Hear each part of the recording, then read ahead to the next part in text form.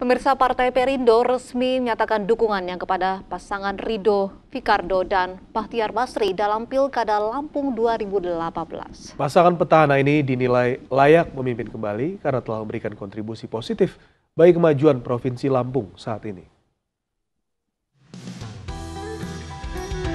Lagi-lagi ini menjadi bukti bagaimana eksistensi Partai Persatuan Indonesia Perindo di kancah perpolitikan negeri telah diakui masyarakat luas. Pada kontestasi pilkada daerah misalnya, meski relatif tergolong sebagai partai baru, dukungan Perindo dan kadernya benar-benar diperhitungkan.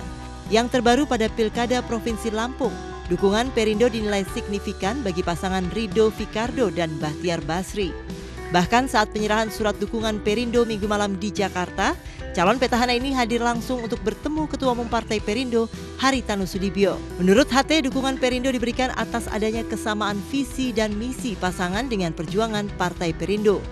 Ya, jadi kami memutuskan untuk mendukung beliau untuk maju yang kedua kalinya. Karena beliau ini figur muda, energetik, yang memang dibutuhkan oleh bangsa kita kita butuh para pemuda yang memiliki wawasan yang progresif, yang cinta tanah air, yang ingin membangun daerahnya dan saya lihat beliau ini sangat cinta ingin membangun daerahnya menjadi daerah yang maju. Itu sesuai dengan perjuangan Partai Perindo dan itulah kenapa kami dukung.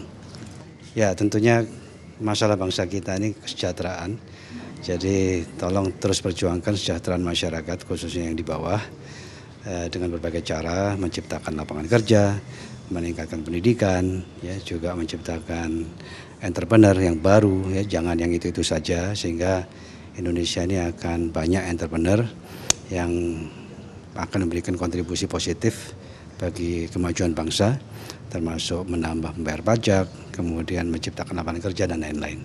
Bapak Haritanu memberikan banyak masukan terkait dengan arah kebijakan pembangunan yang membuka wawasan. Kemudian saya rubah atas saran masukan dari beliau, dari Bapak Hari itu. Dan hari ini terasa manfaatnya.